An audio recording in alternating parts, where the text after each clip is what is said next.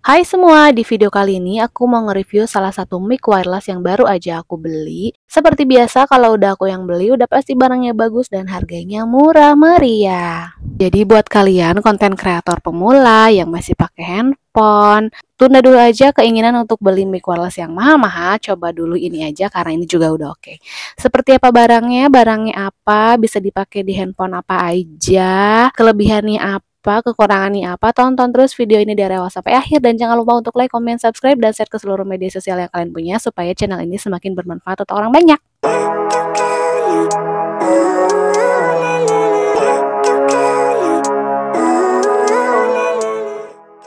Jadi ini adalah mic wirelessnya TNW. Ini aku beli yang untuk Android, yang untuk Type C dengan tipe TWX9. Jadi dia punya dua tipe ya untuk Android dan juga untuk iPhone. Nah, untuk yang tipe TNW TWX9 ini dia punya dua mic wireless dan juga satu receivernya. Dan yang bikin ini beda adalah dia punya case boxnya ini yang nanti kita akan bahas kelebihannya apa ya. Ini bukan video first impression karena pas barangnya sampai aku udah pernah buka dulu untuk memastikan barangnya berfungsi dengan baik. Ini tuh aslinya ada di packing plastik lagi dan rapi banget Jadi kita langsung buka aja um, si mic-nya. Tada! Ini dia penampakan dalamnya. Wih. Lumayan lah ya. Ini dia punya kabel USB. Terus ini si mic wirelessnya sendiri, si boxnya. Dan langsung kita buka aja. Uh, uh nih susah banget ngebukanya juga guys. Ini si kabel USB-nya. Ini dia udah pasti untuk ngecas si mic-nya ya. Oke, kita buka. Ini dia si mic wireless-nya. Dia dilapisin lagi plastik kayak gini dan dia dilapisin juga sama box busa kayak gini jadi dia aman selama perjalanan ya guys. Dan tentu saja ada buku petunjuk pemakaian.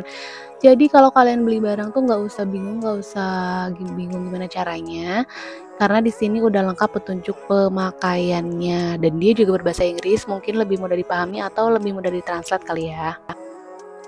Oke, kita langsung lihat aja bintang dari produk ini. Ini dia si mic wireless TNW-nya. Tada! Lihat ya. First impression aku pas pertama kali ngeliat ini itu tuh kayak elegan banget. Warnanya hitam legam yang bener-bener kayak mahal gitu loh. Ini aku nggak tahu bahannya apa. Mungkin kayak plastik atau aku nggak ngerti ya kalau masalah bahan dan lain sebagainya. Tapi ini tuh kelihatan kayak mewah banget Nah, di sini ada merek TNW-nya dan kalau misalnya aku lihat di Shopee itu ada yang lebih murah dari ini, tapi dia nggak ada merek ininya nih. Jadi aku ragu untuk beli, jadi aku beli yang udah pasti-pasti aja, yang reviewnya udah jelas-jelas bagus.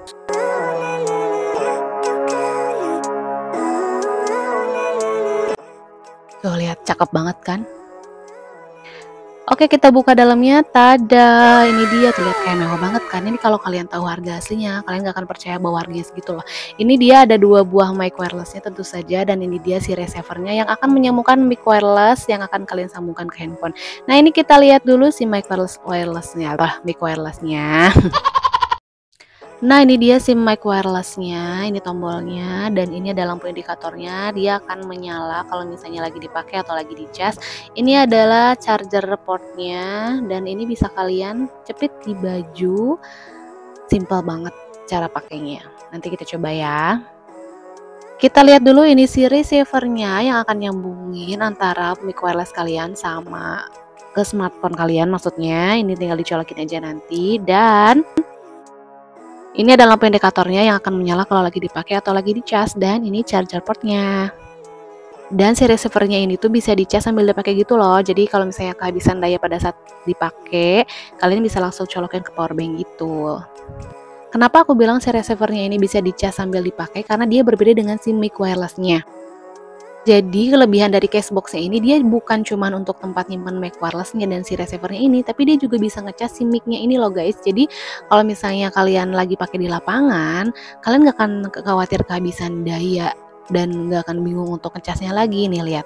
Kalian lihat ini tinggal dimasukin aja kayak gini, tuh.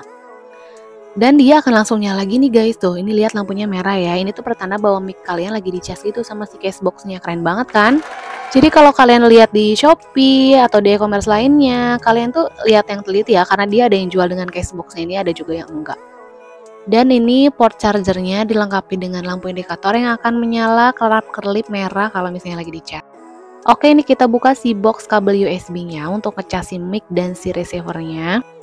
Jujur aku tuh kaget banget ya kadang-kadang kan kalau kita beli alat kayak gini tuh si kabel USB-nya tuh nggak dikasih atau malah cuma dapat satu atau nggak lengkap.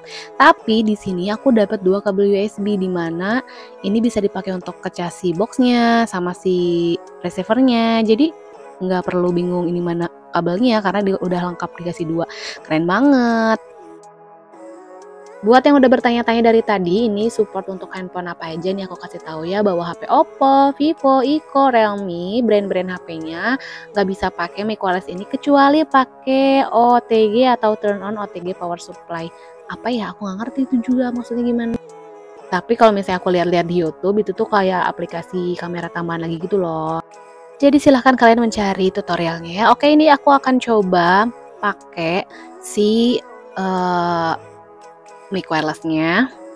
Cara pakainya kalian tinggal colokin aja si receivernya ke smartphone kalian kayak gini. Tapi ternyata ini gak support guys. Ini aku pakai Xiaomi Real Xiaomi 5 Note 5 deh kalau nggak salah. Dan ternyata dia nggak support. Jadi aku mau langsung cobain aja colokin ke handphone aku yang aku lagi pakai untuk merekam udah tersambung ya receivernya udah aku sambungin ke smartphone yang aku lagi pakai ini. Ini smartphonenya aku lupa pakai apa. Nanti aku tulis keterangan di deskripsi ya Cara pakainya gampang, kalian tinggal tekan tombol powernya kira-kira 2 detik, lalu lampunya akan menyala seperti ini. Nih kalau lampunya hijau pertanda bahwa mic-nya siap untuk digunakan. Kalau misalnya lampunya kedap-kedip, terlap-kelip merah hijau berarti itu belum tersambung si receivernya ya. Ini aku coba nyalain yang satunya lagi dan tada semuanya berfungsi eh belum nyala ini aku coba nyalain lagi dan tada semuanya sudah berfungsi dan siap untuk digunakan Nah, jadi buat kalian yang suka konten berdua atau konten wawancara, ini bisa banget dipakai. Udah ready, udah dua mic-nya, udah keren banget. Bisa kalian cas di mana pun kalian berada, nggak usah bawa-bawa colokan. Udah simpel banget, ringan banget, dan mewah banget. Udah sempurna banget lah ini si mic-nya untuk pemula, oke? Okay? Dan ini dia tempat untuk kecas si boxnya ini dan ini ada lampu indikatornya dia akan menyala kelap-kelip merah kalau misalnya dia lagi dicas ya guys tadinya aku mau tunjukin ke kalian gimana cara ngecasnya dan gimana kelap-kelipnya tapi ternyata kabel USB nya pendek dan agak ribet ya jadi aku nggak akan tunjuk ke kalian. Pokoknya ini semua berfungsi dengan baik dan mudah untuk digunakan. Jujur aku suka banget sih si mic ini dan aku udah pernah coba juga pakai dan hasilnya hmm, mungkin aku akan bikin video lain untuk nge-review hasil pemakaian video ini ya. Ini tuh menurut aku bagus banget untuk pemula yang masih awal-awal bikin video, yang masih pakai smartphone. Ini harganya cuma 289.000. Kalian bisa dapat mic sekeren ini dengan dua buah mic dengan case boxnya yang bisa kalian pakai untuk ngecas juga kabel adaptornya lengkap ya bahannya juga kelihatan mewah banget ya kalian nyari apa lagi ya nggak sih untuk link pembelian nanti aku akan taruh di deskripsi dan kalau kalian suka silahkan langsung check out aja. Dan kalau kalian suka video ini jangan lupa untuk like, komen, dan juga subscribe. Dan boleh juga untuk share ke sosial media kalian yang punya supaya channel ini semakin bermanfaat untuk orang banyak. Terima kasih sudah nonton dan sampai ketemu di video berikutnya. Bye!